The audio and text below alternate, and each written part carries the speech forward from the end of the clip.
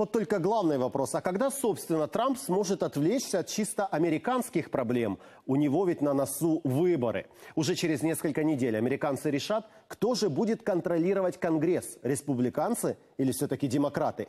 Ким Чен Ыну уже сказано, раньше ноября встречи и думать нечего, пока Трамп лично участвует в предвыборной кампании и агитирует за кандидатов от республиканцев. Ведь от успеха либо проигрыша сейчас может зависеть и перспектива второго президентского срока для Трампа.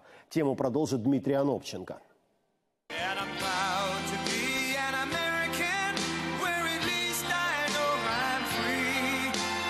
Дежавю, те же плакаты и та же музыка, что и два года назад, когда Трамп только баллотировался, но это не кадры хроники, все происходит здесь и сейчас. Предвыборный митинг в глубинке – Демократы дошли до крайности, стали, честно говоря, слишком опасными, чтобы доверить им управлять. Вообще с ума сошли. А значит, голосовать стоит исключительно за республиканцев, уверяет своих сторонников президент, обращаясь не так к логике, как к эмоциям. Мол, раз мне два года назад поверили, так и моим однопартийцам сейчас поверьте.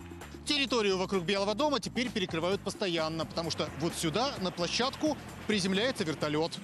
Он везет президента на военно-воздушную базу Эндрюс, откуда глава государства традиционно вылетает в туры по стране. И раньше все эта церемония, все меры безопасности, посадка вертолета, взлет, собирали здесь толпы любопытствующих, они смотрели со стороны. Ну а теперь уже практически никого нет, потому что это стало обыденностью. Дональд Трамп постоянно вылетает в предвыборные туры. В графике президента штаты и города сменяют друг друга. Темп такой, что помощники уследить за всем не успевают. Зажиточная Пенсильвания и индустриальная Миннесота, житница Америки, Канзас и кукурузная Айова на Среднем Западе. Заработались, до курьезов доходит. Соцсети взорвались от смеха, когда во время одного из таких воежей появились вот эти кадры. Президент поднимается по трапу с куском туалетной бумаги на ботинке. Но самого Трампа это, похоже, только развеселило. Он по-прежнему уверен, что любое упоминание в прессе – это рейтинг. Ведь показывать его и действительно стали реже. CNN и NBC предвыборные митинги Трампа в принципе отказываются освещать. И даже лояльный Fox News ограничивается короткой нарезкой. Вытеснить президента президента из эфира, пытаются демократы. Еще один удар нанесли финансируемые ими вузы, сделав разбор полетов учебным предметом. Новый учебный курс назвали «Трампаганда. Борьба с фактами, прессой и демократией». Продлится он 8 недель, то есть финал придется как раз на день промежуточных выборов. И вот тут показательный момент. Обычно политические предпочтения студентов никого не волнуют. Ты можешь поддерживать демократов или республиканцев, но не в этом случае. Сейчас и концепция курса, и его название предполагают, что даже если ты поддерживаешь Трампа в душе, то все равно, чтобы получить зачет, должен искать его ошибки. В бой бросили и тяжелую звездную артиллерию. Голосовать за демократов призвала певица Тейлор Свифт. Трампу, который любит ее песни, пришлось даже отшучиваться, мол, теперь эта любовь на четверть меньше. В том же ключе высказались Риана и даже легендарная Шер. Каждая женщина в США должна прийти на участок, иначе прекращайте жаловаться. Что толку жаловаться, если вы не голосовали?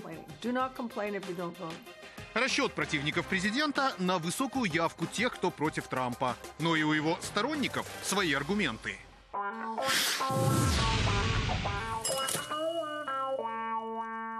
Это Миннесота, штат в глубинке, где традиционно голосовали за демократов, и победа Трампа в 16-м стала полной неожиданностью. Над лозунгом об Америке, которую снова сделают великой, только ленивый не смеялся, но тут его воспринимают весьма серьезно. Как и обещание президента вернуть в страну рабочие места. Мы говорим о работе и экономике, росте производства и создании условий для бизнеса, и в этом залог победы. Делится кандидат от республиканцев, а в прошлом звезда американского хоккея Пит Стаубер. Он вырос здесь и прекрасно знает настроение в суровой местности, где половину всей железной руды Америки добывают. Безработица при Трампе действительно свелась до минимума, и за это избиратели готовы простить ему многое. Местные чиновники, вот как этот мэр, который всю жизнь был демократом, даже портбилеты меняют. Что для меня, что для большинства местных жителей на первом месте вовсе не политика, а экономика. Вот и пришлось перескочить из одной партии в другую, чтобы быть кандидатом, который обещает лучшую жизнь. И действительно обещает. Агитирует, конечно, в том числе и за себя. Вот только накануне Трамп в эфире любимого утреннего шоу, которое и сам смотрит ежедневно, заявил, обязательно будет баллотироваться через два года и уверен в своей победе. И в том, что его партия сохранит большинство в Конгрессе. Выборы ведь и действительно не президентские, парламентские. И раньше президенты поддерживали кандидатов в проблемных округах, но не пытались вытянуть всю кампанию. Но Трамп в очередной раз играет не по правилам и едет все в новые и новые города. Из Соединенных Штатов Дмитрий Анопченко, Юрий Романюк, Американское бюро телеканала «Интер».